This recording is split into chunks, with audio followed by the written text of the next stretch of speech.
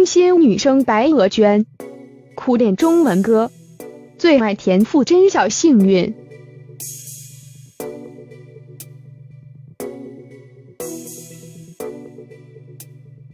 在韩国被誉为清新偏赖的白娥娟，于四月二十二。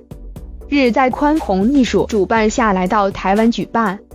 Bike A Little E S T Live Whispering in Taipei。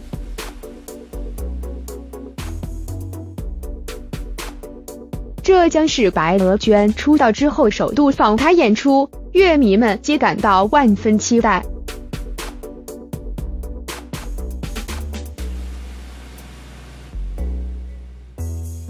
白娥娟因看过电影《我的少女时代》，对主题曲《小幸运》留下深刻印象，也曾想象自己是剧中女主角，并为了首次在台演出，苦练了中文歌。虽然还未透露要带给乐迷哪首中文歌曲。让粉丝们更满心期待能见到白娥娟。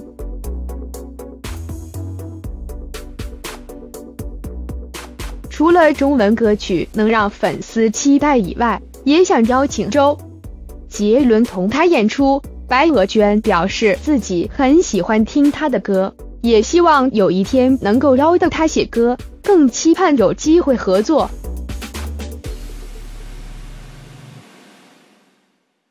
白娥娟已在韩国举办过个人演唱会，而今年突破自我，首度到海外举办 Bike A Little E S T Live Whispering in Taipei。而白娥娟因为听说台湾有很多美食，一听到能来台湾开唱，除了提前两个月练习歌曲，准备带给乐迷惊喜以外，还打算到台湾夜市逛逛，品尝美食。让白娥娟好兴奋。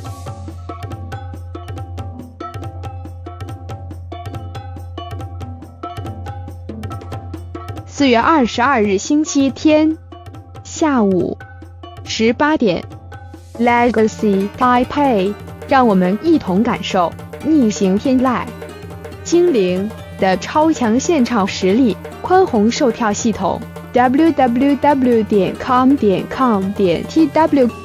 全台，OK，莱尔富便利商店热卖中。